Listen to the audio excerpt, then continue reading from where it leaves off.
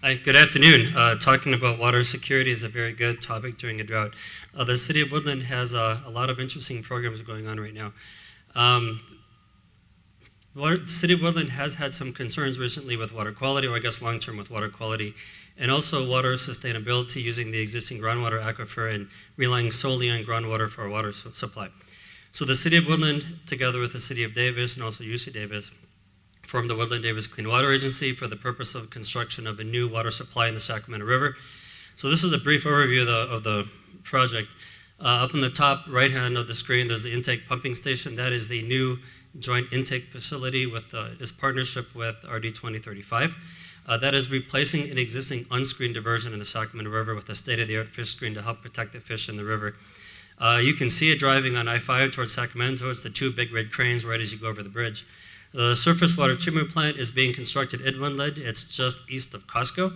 Uh, right now, it looks like a series of concrete structures and two big concrete domes and, and, a series of construction trailers.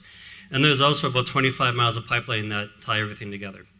So the surface water project as a whole takes care of our water quality issues. It takes care of most of our water supply issues, but it does also present us another problem in that the Sacramento River in most years has more water in winter than it does in summer, so there's much more supply in winter.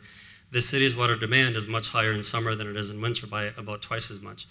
So we're looking for a way to balance winter supply and summer demand and, and not be reliant on our existing groundwater wells uh, as much as we can. So to illustrate the problem with storage, to try to store enough water, uh, this is a 3 million gallon tank that the city was constructing about a year ago. I like this picture because it really shows the scale of water storage. Uh, you can see there's a crane in the middle of the tank, and there's a couple of construction workers up on top working on scaffolding for the roof. So this is a 3 million, sorry about that, I didn't quite know what to do. Um, so this 3 million, gallon 3 million gallon tank, one full, is enough to supply the city with water for about four hours in summer or about eight hours in winter. Uh, if we were to try to use storage tank to store winter water to use in summer, we would need a few hundred of these. And in addition to being very unsightly and using a lot of land, it's very, very expensive. So we needed a different solution. So the solution that we came up with, working with West Yost and Associates, was a concept called aquifer storage and recovery. And what that concept is, is basically taking treated drinking water and injecting that into the groundwater aquifer to store that over long periods of time to bring back up and use later. Uh, at buildup, we plan to have between five and seven ASR wells. There's a few more shown on this map, and that's mainly for permitting purposes, and so no one knows where the wells really actually are. our, our goal really is to store between one and a half and two billion with B gallons every winter to use some of that water in summer, but our, our main goal is to build a very large reservoir of water to use in the next drought. We can't do anything about the current drought, but we want to be prepared for the next one. Uh, how do we know it works? The City of Woodland partnered with uh, Lawrence Livermore Labs about a year ago to do a full-scale injection testing. We used xenon gas as a tracer so we knew which water was ours. And uh, we injected into our existing well at well 28, which is the purple one on that map. And ultimately, the test was very successful. We were able to recover about 98% of the water that we, we put into the ground. Um, and extrapolating that to a full city, citywide scale, we feel very confident that we will be able to re recover about 90% of the water that we put in. And ASR programs are considered successful if you are between 70 and 90%. So we're definitely in the higher end of that. H how it works, I'll give you a quick geology lesson.